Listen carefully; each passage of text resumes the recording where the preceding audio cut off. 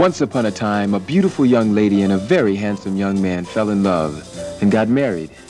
They were a wonderful, compatible couple. And God blessed their marriage with a fine baby boy. They loved their little boy very much.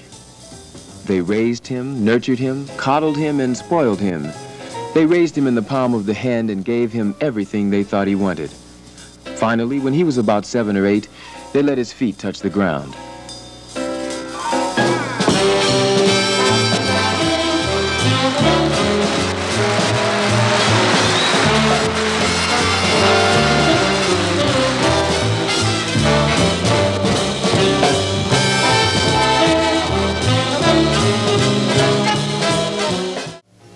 Juan Tizol was born in San Juan, Puerto Rico, and suitably named after the saint San Juan. He studied and mastered every instrument in the orchestra, but finally settled down to specialize in the valve trombone. Tizol is a very big man, a very unselfish man, and one of the finest musicians I've ever known. What did you think of Duke's music when you first joined the band, the sound? How did... Oh, well, uh, was kind of, was kind of, I mean, I didn't know, because I couldn't tell Duke nothing about it just when we was at the Cotton Club. That's when I joined the band in the Cotton Club years ago.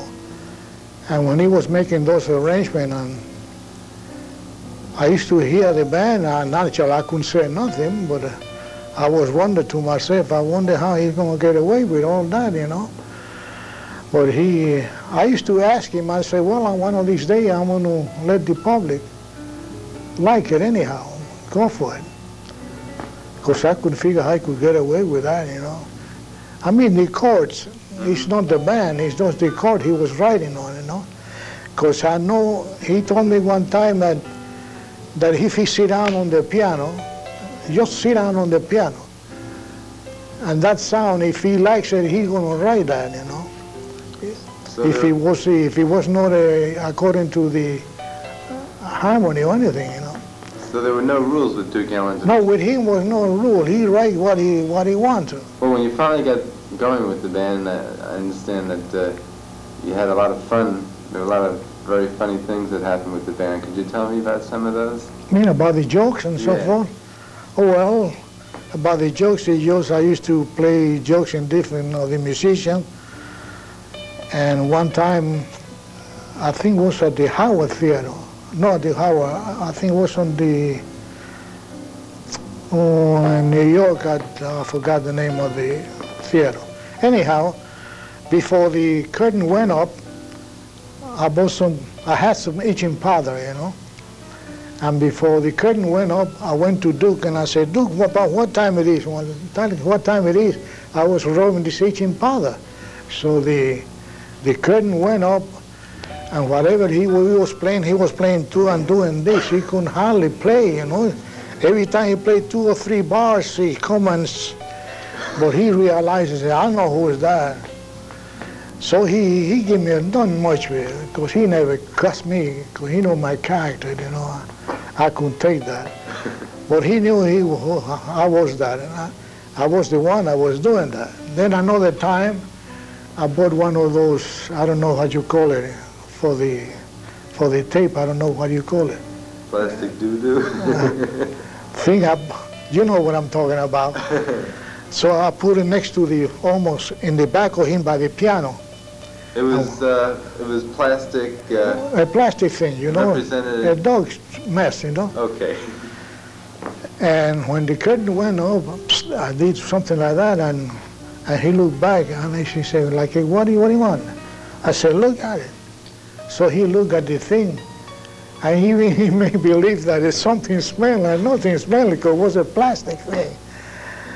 So I, uh, he didn't say no more. He kept on playing, and at the end of the, at the end, when the curtain come down for the finish, he went to the station, uh, station manager and told him about it. There was something, a cat or something did something there on the stage.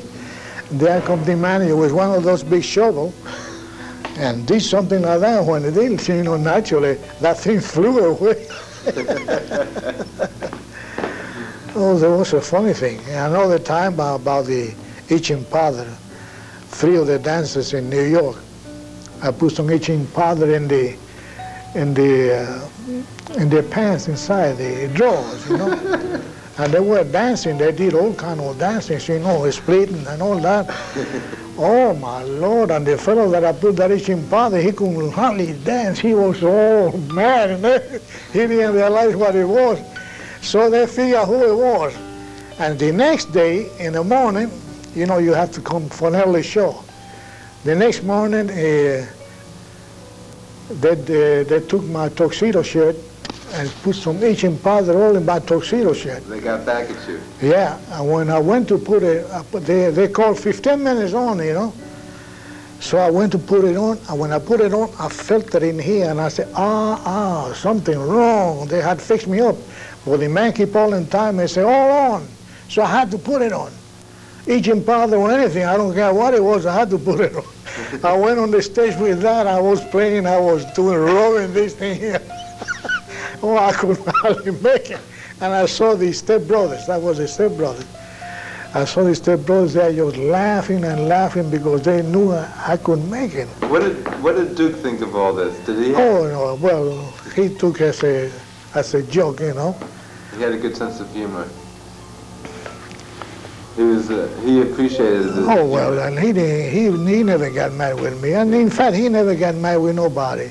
He cusses sometimes, you know, sometime in rehearsals and things like that, but he he don't mean nothing.